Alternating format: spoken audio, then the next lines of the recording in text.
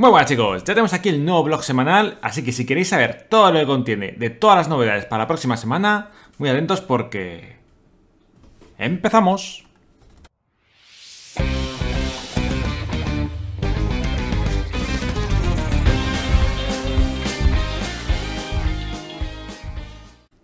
Muy buenas chicos, bienvenidos a un nuevo vídeo, soy Kanek. Si vuestra primera vez aquí no lo dudéis, dale al botón de suscripción que aparece por aquí, en la esquinita, y a la campanita de notificaciones para que os avise cada vez que hay un nuevo vídeo. Intentamos tener las últimas novedades de Marvel Strike Force y Marvel Future Revolution. Bueno, pues chicos, pues ya tenemos aquí el nuevo blog semanal, vamos a ver todo lo que contiene. De primera ya nos vienen estas imágenes de, de Gamora y Daredevil, de los nuevos trajes que vamos a poder conseguir en el evento de amenazas veladas. Ahora vamos a ver un poquito si nos dicen el cómo. Y vamos a empezar a leerlo. Toda esta parte me la voy a evitar porque es como un mini resumen del este y no quiero hacer spoilers. Amenazas veladas. El 1 de agosto aterriza el evento Amenazas veladas y vuestra primera oportunidad de ganar un traje nuevo para Gamora y Daredevil así como podéis conseguir esos amenazadores atuendos, además de otras grandes recompensas. Hito de intenciones letales. Haced como Gamora y Daredevil y aniquilad a vuestros oponentes en batallas de guerra de alianzas, de incursión y de arena para conseguir puntos y progresar un hito de 14 días que otorga bits efímeros morados, créditos de élite 4 y 5, materiales de habilidad, semicatalizadores y artículos. Usad vuestros bits efímeros morados para añadir el traje de Requiem de Gamora y el traje de Shadowlands de Daredevil a sus respectivos armarios. Tras obtener el traje de Requiem podéis comprar una mejora visual con créditos de traje todos los bits que uséis se convertirán en crédito de traje, bla, bla, bla, como siempre, ¿no? Bueno, lo primero, eh, nos dicen ya cómo vamos a conseguirlo, que está haciendo básicamente incursiones, guerra de alianzas y arena. Durante 14 días, con lo cual entiendo que si hacemos eh, el máximo de nuestras incursiones, de máximo las arenas y los ataques de guerra normales, con yo que sé, dos ataques extra, que suele ser un poco lo normal, pues mínimo yo creo que deberíamos poder maxear este evento. No obstante, no tenemos las matemáticas y no vamos a poder saber si nos va a dar para comprar los dos trajes, ¿vale? Vamos a ir un momento al juego. Vale, pues ya estamos aquí en la sección de, de trajes y podemos ver los dos trajes que nos están hablando, el de Gamora y el de Daredevil. La verdad es que los dos me gustan mucho, creo que son de lo mejorcito que hemos visto últimamente y la verdad es que me gustaría poder conseguir los dos. Problema es que, mira, como podéis ver, uno vale 50, otro vale 25. Esto los días que pasó fue cuando el evento de WandaVision, también duró creo que 10 días o por ahí.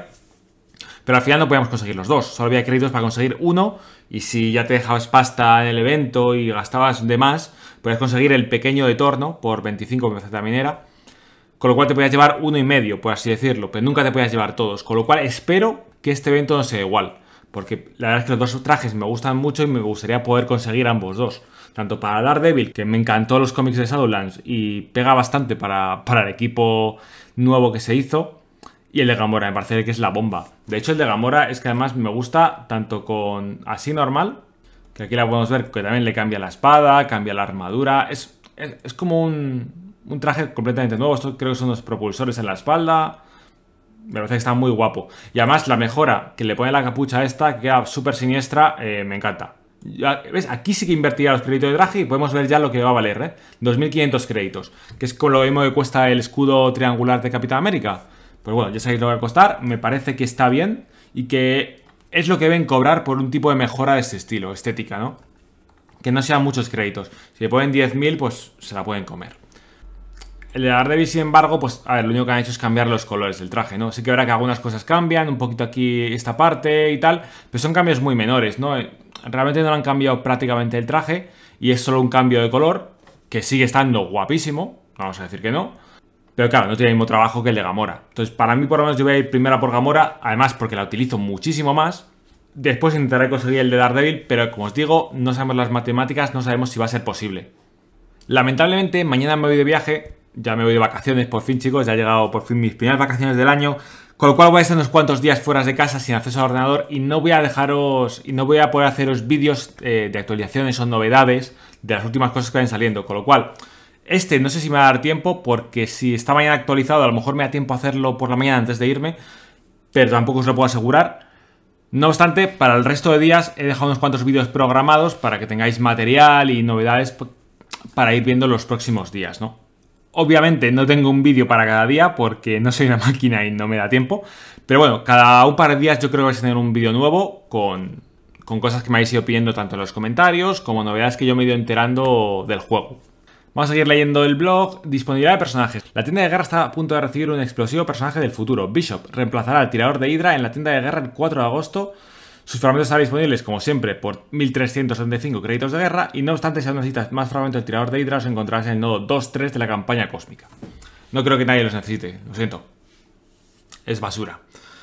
Bueno, pues por fin tenemos a bicho farmeable. Esto significa que podéis abandonar la, arena en vivo si no necesitáis los mini únicos que vienen ahí. Porque básicamente, si vas a hacer bicho farmeable, ya necesitamos sus fragmentos de, de la arena en vivo. No obstante, también es recomendable conseguirlos porque te ahorras créditos de guerra. Entonces, bueno, eh, eso ya lo dejo un poquito a, lo que queráis hacer. Sí que verá que da bastante pereza utilizar ese modo de juego, que hacemos únicamente por las recompensas. Pero bueno, eh, esto es una buena noticia. Otro personaje más que se va a la tienda de guerra. Realmente es mejor que donde yo pensaba que iba a acabar. Pensé que iba a ir a los B de asalto, porque Domino lleva ahí una barbaridad y pensé que a Bishop le iban a colocar en su lugar.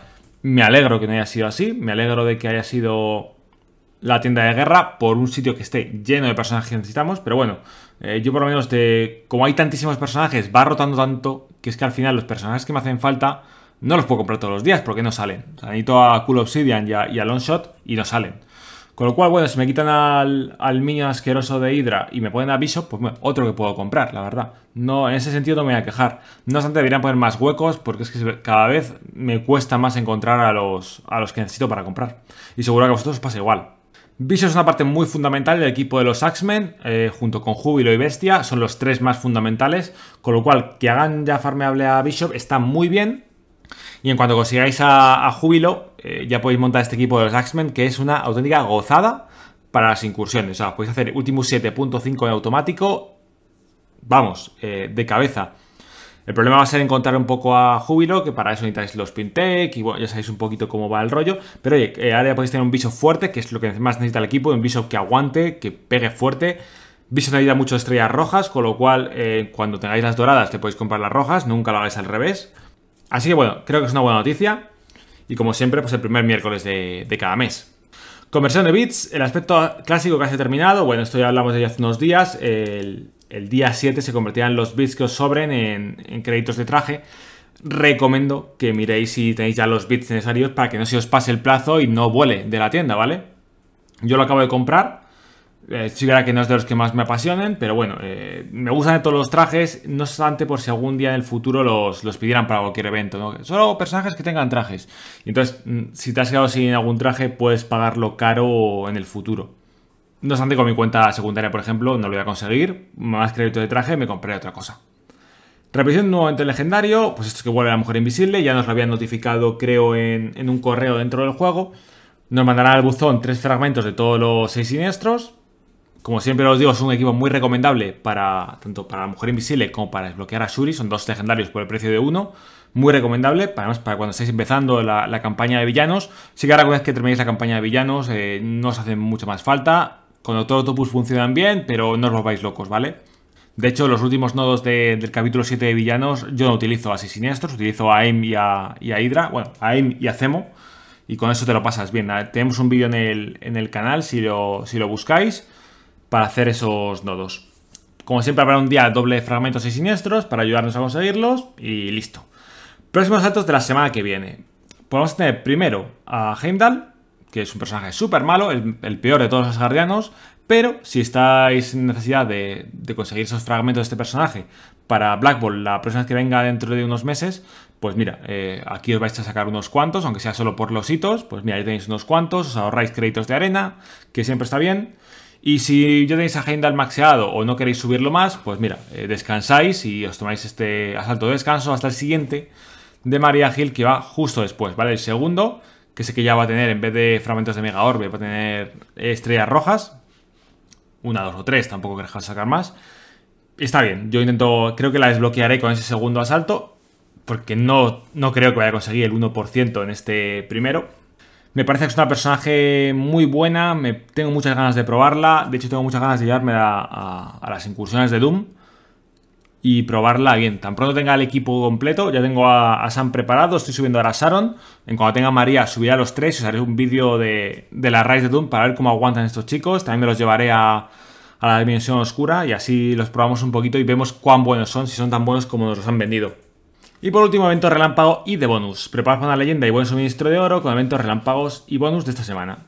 Pues básicamente eh, nos dicen otra los eventos de dobles y siniestros. Y después tenemos el día de cobro. Dinerito, dinerito, chicos. Más oro. Lástima que no haya aumentado este evento. Yo creo que deberían meterle un nivel más para darnos aún más oro. Yo que sé, que nos pidan ISOs, tío. Nos pidan requisito ISO 3, o 4, o 5. Me da igual. Bueno, no, no me da igual. Prefiero que no pidan 5 porque, porque es caro y no apetece subir a los mercenarios. Pero un ISO 3 o algo así que nos pidan y, hacemos un, nuevo evento que nos dé un poquito más de oro. Que este evento da bastante oro, pero da como 2 millones. Y 2 millones te lo fundes en nada. Y bueno, como siempre habrá un día de doble caos mercenario, con lo cual aprovechar para farmearlos. A, a Taskmaster, el teniente mercenario, etcétera, etcétera. Así que nada chicos, hasta aquí este vlog. Mm, mañana si digo, si me da tiempo, porque digo que me voy de vacaciones, tengo que hacer maleta y todo el rollo y voy a estar fuera unos cuantos días. Entonces, si me da tiempo, yo os dejo el vídeo con las mates de esto, aunque sea un vídeo muy cortito. Si no me da tiempo, pues nada, eh, yo he hecho cuentas y os lo pongo a lo mejor en alguno de los comentarios de, la comunidad, en el canal de YouTube, pero no sé si me dará tiempo, ¿vale? De todas maneras, os dejo un montón de vídeos ya preparados para que, bueno, no se quede el canal desierto y tengáis algo para ver estos días de, de agosto que, que bueno, son días para, para estar fuera, disfrutar y, estar con, la familia y amigos, pero... Pero bueno, siempre está bien tener unas noticias, unos datos de Marvel Strike Force y seguir mejorando en este juego. Así que nada chicos, si os ha gustado el vídeo, por favor, dejadme un like, no olvidéis compartirlo con vuestra alianza y con vuestros amigos, suscribiros si no lo habéis hecho, activar la campanita de notificaciones y nos vemos en la próxima.